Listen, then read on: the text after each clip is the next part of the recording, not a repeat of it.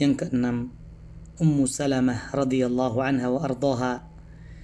Kemudian Nabi Shallallahu alaihi wasallam menikahi Ummu Salamah Hindun binti Abi Umayyah Al-Qurashiyah Al-Makhzumiyah dan nama Abu Umayyah adalah Hudzaifah bin Al-Mughirah. Ummu Salamah radhiyallahu anha merupakan istri Nabi Shallallahu alaihi wasallam yang wafat paling terakhir. Ia wafat pada tahun 62 Hijriyah. Yang ketujuh, Juwairiyah radhiyallahu anha wa ardaha. Nabi kita sallallahu alaihi wasallam menikahi Juwairiyah binti Al-Harith bin Abi Dhirar Al-Mustaliqiyah radhiyallahu anha yang sebelumnya ia merupakan salah satu tawanan Bani Mustaliq. Kemudian ia datang meminta pertolongan kepada baginda Nabi sallallahu alaihi wasallam agar dibebaskan maka Nabi Shallallahu Alaihi Wasallam membebaskannya kemudian menikahinya. Yang kedelapan Zainab binti Jahsh radhiyallahu anha. Kemudian Nabi Shallallahu Alaihi Wasallam menikahi Zainab binti Jahsh radhiyallahu anha dari Bani Asad bin Khuzaimah. Dan ia merupakan putri dari bibi Rasulullah Shallallahu Alaihi Wasallam yaitu Umaymah.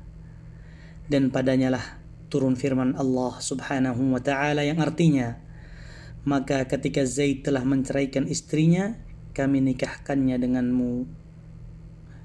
Karena itulah ia berbangga atas istri-istri Nabi Shallallahu alaihi wasallam yang lain dan mengatakan kalian dinikahkan oleh keluarga kalian sedangkan aku dinikahkan oleh Allah Subhanahu wa taala dari atas langit yang ketujuh. Dan di antara kelebihannya yang tidak dimiliki oleh wanita lain adalah Allah Subhanahu wa taala yang menjadi wali atas pernikahannya dengan Rasulullah sallallahu alaihi wasallam dari atas langit.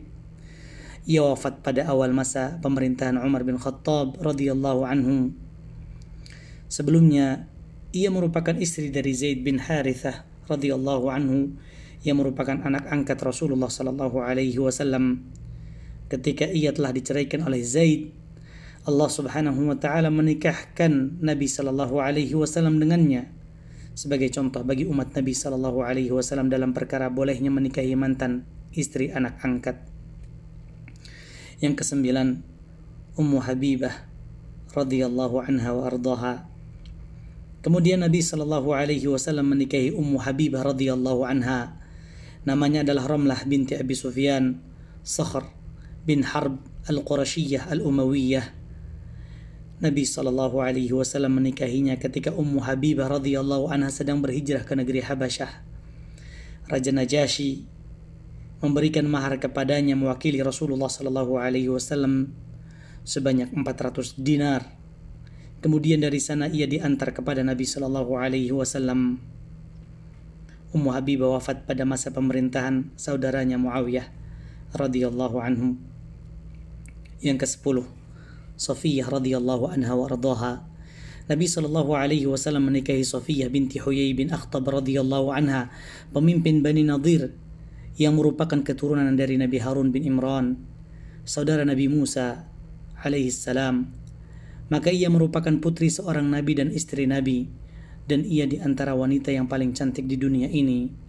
Ia merupakan tawanan dan menjadi budak wanita. Kemudian beliau sallallahu alaihi wasallam membebaskannya dan beliau jadikan hal tersebut sebagai maharnya. Maka perkara itu pun menjadi sunnah. Yang ke-11 Maimunah radhiyallahu anha wa ardaha kemudian Nabi sallallahu alaihi wasallam menikahi Maimunah binti Al-Harith Al-Hilaliyah radhiyallahu anha. Ia merupakan wanita terakhir yang dinikahi Nabi sallallahu alaihi wasallam Nabi sallallahu alaihi wasallam menikahinya di kota Makkah ketika telah tahallul dari umrah al-qadha. Kata penulis hafizahullah taala, tidak ada perbedaan pendapat di antara para ulama bahwa tatkala Nabi Shallallahu alaihi wasallam wafat, beliau meninggalkan sembilan orang istri dan yang paling pertama menyusul beliau setelah wafatnya adalah Zainab binti Jahsh radhiyallahu anha pada tahun 20 Hijriah dan yang paling terakhir wafat adalah Ummu Salamah radhiyallahu anha pada tahun 62 Hijriah di masa pemerintahan Yazid bin Muawiyah